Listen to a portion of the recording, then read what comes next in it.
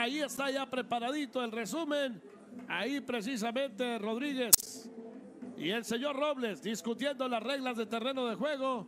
Y bueno, un partido que arrancó con un duelo de picheo.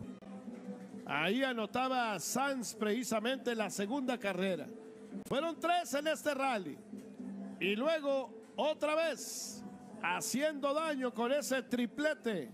El señor Aneuri Tavares en la octava entrada.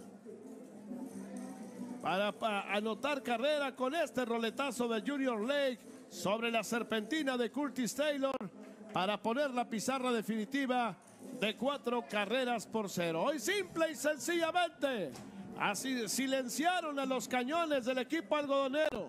Silvino Bracho vino en esa novena entrada. Ahí el eh, roletazo de Córdoba se sacaba el out de la intermedia, quedaba quieto.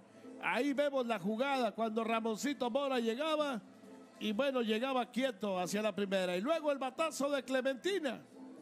Batazo demasiado elevado a los dominios del paracorto Mayfield, que sin problema se quedaba con ella para el segundo out.